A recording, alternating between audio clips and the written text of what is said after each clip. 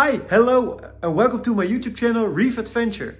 Today I want to talk about the future planning of my dream tank, a Red Sea Reefer 425.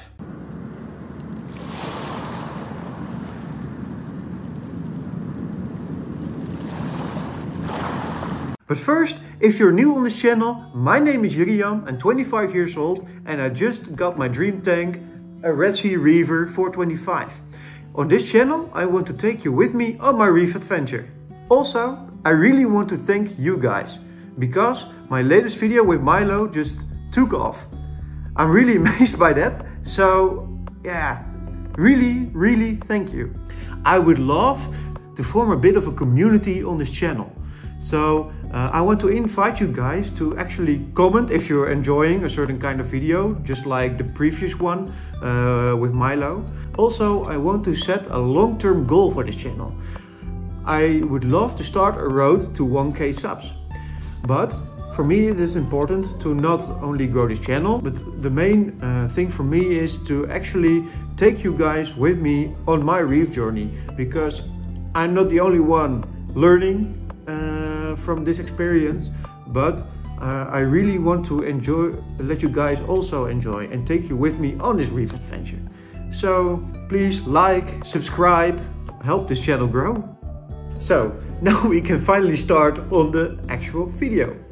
Well, as reef tech owners, we all know the importance of planning ahead to ensure the health and the success of our coral and fish. One of the key aspects of future planning for my reef tank is researching and selecting the right species to add.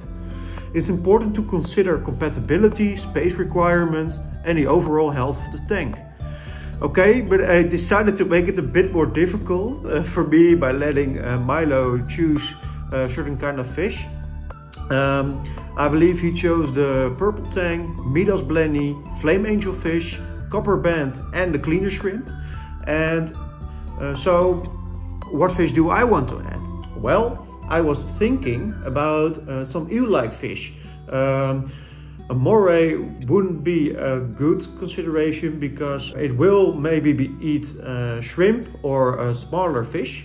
So I decided to uh, maybe add a convict blenny uh, or an engineer goby. it has uh, some different names. Also, I was thinking about a royal gramma or maybe uh, a fish that schools a bit. I know there are no uh, really schooling fish, uh, maybe herring, but that, that is a big school of fish and uh, that doesn't fit in this tank.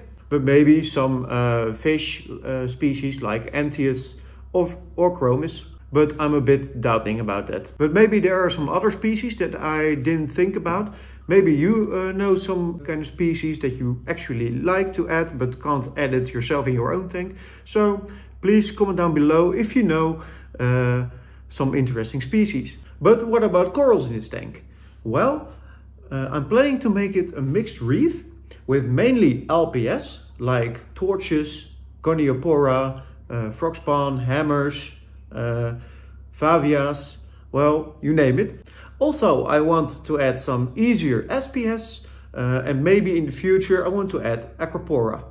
Maybe there will be some softies in this tank, but uh, it will be mainly uh, LPS and SPS. And I also like to think about uh, any uh, potential upgrades or equipment uh, additions that could benefit my reef tank in the long run uh, whether it's a new protein skimmer, a lightning system or dosing pump. Well, actually, I will need a dosing pump uh, soon because I saw my KH is a bit declining, so uh, I'm adding it now by hand. But uh, I really need a dosing pump, and it will probably uh, be one uh, from Red Sea. But I just don't know which method I use. I will use and maybe these are uh, easy these are uh, because I think it will uh, work well. But planning ahead uh, for these upgrades can help maintain a thriving environment for my aquatic friends. Moreover, setting goals for the growth and development of my coral and fish can be a fun and rewarding part of future planning. Whether it's growing a certain species of coral, breeding specific type of fish, having clear goals in mind can help guide my, my efforts and keep me motivated. So, in conclusion, um, I'm planning to make my tank a mixed reef, mainly LPS and a bit of SPS.